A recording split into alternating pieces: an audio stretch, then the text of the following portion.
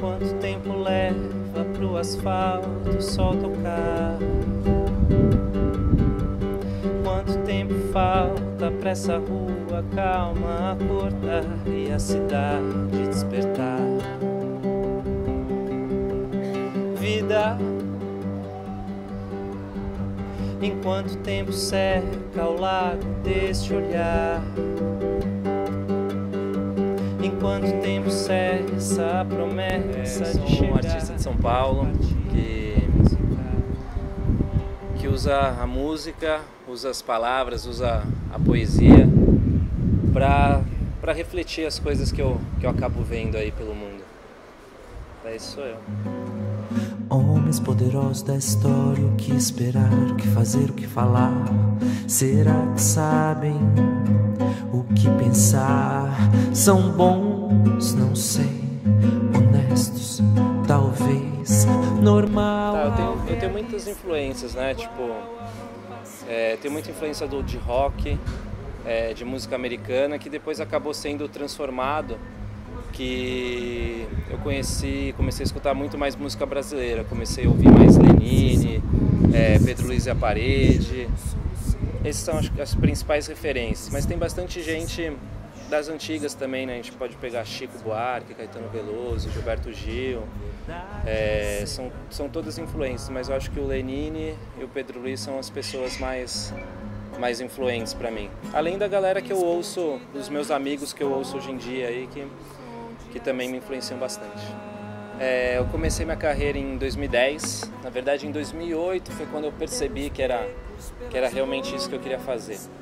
E em 2010 eu lancei meu primeiro disco, Desacelera, e em 2013, fim de 2013, eu lancei o Liberdade Aparente, que foi onde começaram a acontecer mais algumas coisas. O disco acabou sendo indicado entre os 100 melhores lançamentos da música brasileira daquele ano, né?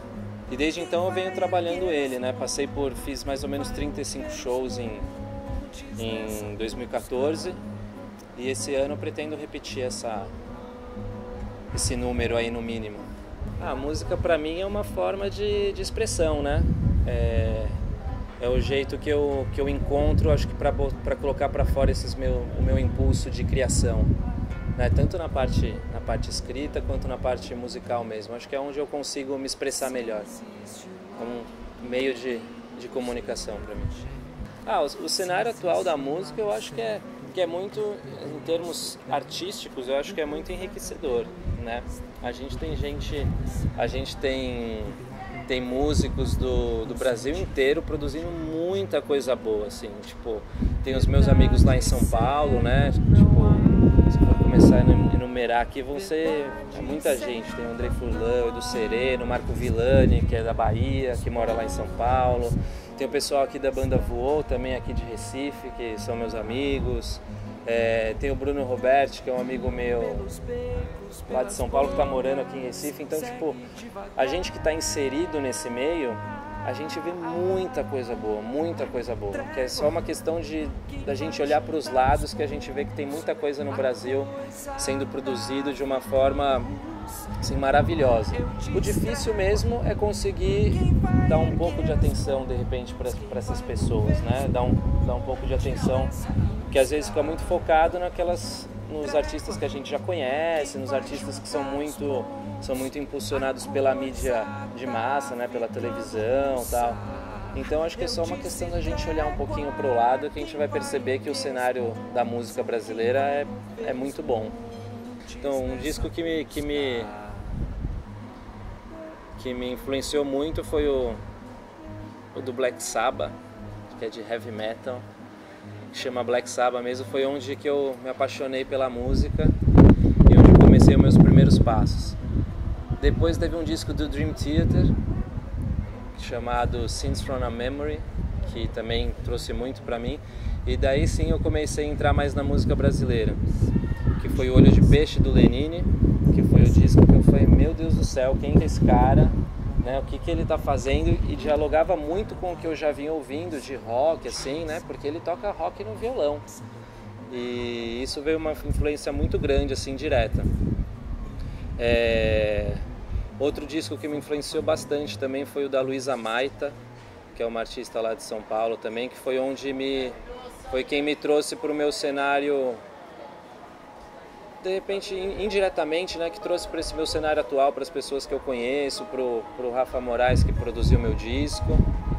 É... Deixa eu ver, o quinto disco, bom, o quinto disco tá vindo para mim Nação Zumbi, acho que é meio né? Acho que estou aqui em Recife, então veio meio empurrado assim o Fome de Tudo. Fome de Tudo para mim é o melhor CD deles e quando eu ouvi também achei espetacular e foi um dos melhores shows da minha vida, acho que em 2011, se eu não me engano, que foi lá em São Paulo pelo na virada cultural, que foi um show espetacular. Espero vê-los aqui também.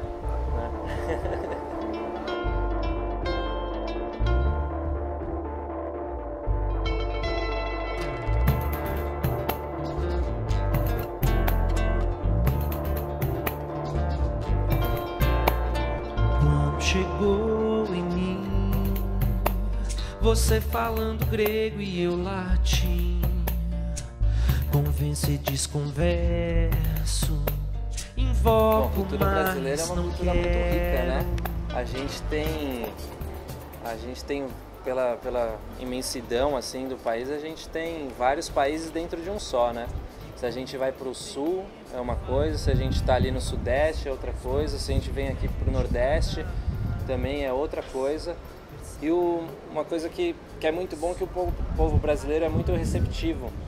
Eu acho que isso daí acaba entrando na nossa arte também e acaba gerando essas misturas, né? Essas misturas que hoje em dia muitas vezes vêm perguntar para mim, nossa, mas como que é seu som? Eu não sei responder como é que é, né? Porque é tanta mistura, é tanta influência, tanto aqui da música do, do Nordeste quanto da música do Sudeste. Então acho que a cultura brasileira é uma cultura muito rica, né? Que acho que todo, todo lugar do mundo ela é, ela é reconhecida. Eu acho que eu estaria em, acho que eu estaria em busca de alguma coisa ainda se eu não fosse músico. Que para mim foi não foi tão óbvio essa eu perceber, eu descobri que era que era isso que eu queria fazer, né? E eu lembro que eu ficava era muito perdido, tipo na escola, tipo nada me me chamava atenção, nada me agradava muito. Eu acho que para gente que começa a trabalhar com arte, que é, que é muito diferente né, do convencional, do que é ensinado para gente quando a gente é quando a gente é menor, a gente acha tudo muito difícil, né? Porque a gente no meio que nós não, não nos enquadramos ao que, ao que a sociedade nos propõe, né? Então, se eu não fosse músico, eu ainda estaria procurando algo para ser. Vou indicar três artistas. Bom, um é um amigão meu lá de São Paulo que que eu venho viajando com ele tipo o ano passado inteiro praticamente nos shows fora de São Paulo que a gente fez em, BH, Curitiba, aqui no, no, em Recife também, que é o Edu Sereno, que é um parceiraço e estamos sempre junto lá em Sampa. É... Outro artista que eu indico é o pessoal da banda Voou, que é aqui de, aqui de, de, Recife, né? Na verdade, acho que eles são de Serra Talhada, né? Só que moram aqui em Recife. É... Vou indicar quatro, então. Vai, se falou três, eu vou indicar quatro. Tem o, o Andrei Furlan, lá de São Paulo também, que é um, tem um trabalho muito legal e que vale a pena conferir. E tem o meu amigo Bruno Roberti, que está me hospedando aqui em Recife também, que o som dele também é muito bom, participou do meu show aqui. E, então são esses quatro aí para o pessoal ficar ligado. Um tempo sem pensar, um tempo para parar.